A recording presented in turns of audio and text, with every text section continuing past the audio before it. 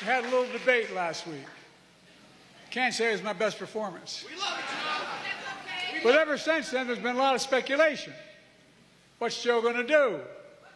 Is he going to stay in the race? Is he going to drop out? What's he going to do?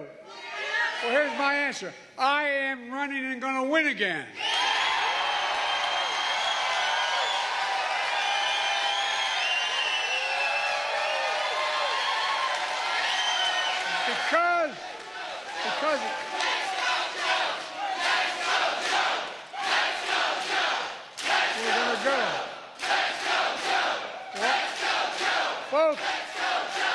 I'm the city president of the United States of America no small part because of you.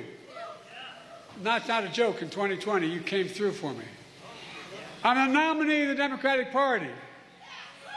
I'm the nominee of this party because millions of Democrats like you just voted for me in primaries all across America. You voted for me to be your nominee.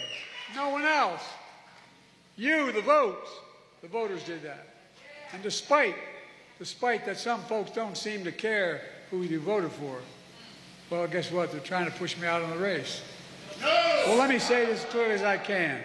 I'm staying in the race. Yeah! I'll beat Donald Trump. I will beat him again in 2020. Well, by the way, we're going to do it again in 2024. I learned long ago when you get knocked down, you get back up.